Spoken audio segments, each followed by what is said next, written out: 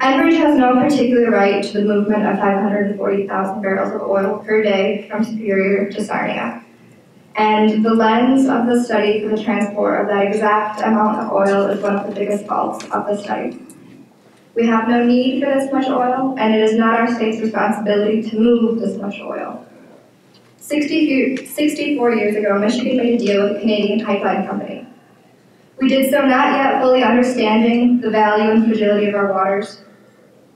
We also did so with stipulations. This pipeline would be maintained properly. But Enbridge has repeatedly broken those stipulations. They have repeatedly broken safety measures of that agreement. We would be perfectly justified in our decision to prioritize our water-dependent economy and way of life. We'd be perfectly justified to shut down Line 5.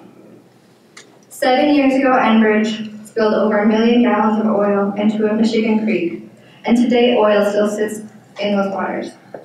And Enbridge made lemons into lemonade for their shareholders. They sidestepped um, long permitting and public input processes, they piecemeal together a huge expansion project which more than doubled the capacity of Line 6B.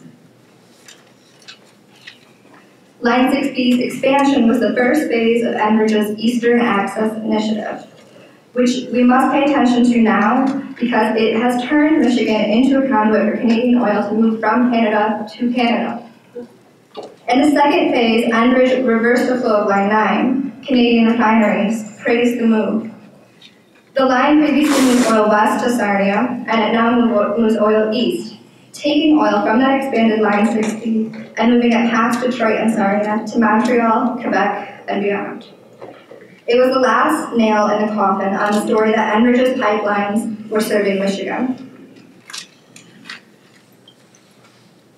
We now have 369,000 more barrels of Enbridge oil moving through Michigan than the total refining capacity can be, that can be used in Detroit, Toledo, and Sarnia refineries. Assuming that no other pipelines are serving the region, which they are, Enbridge still has access beyond what is regionally needed. The specifics of dynamic risk studies are conservative to say the least. Even so, the results of the analysis point to decommissioning as the clear answer. If I were to tell you that 1 in 60 people undergoing an elective surgery would die from that surgery, you would not choose to go in for it.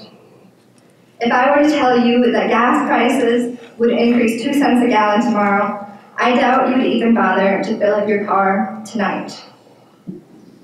If I were to tell you that a clear solution to transporting propane to the UP would be installing a new, safer 4-inch pipeline, may I finish please? Wrap up um, were to install a safer four-inch pipeline, and the pipeline company involved in the discussion had not even brought it up, you would realize that the interests of our state are not on this company's list of priorities.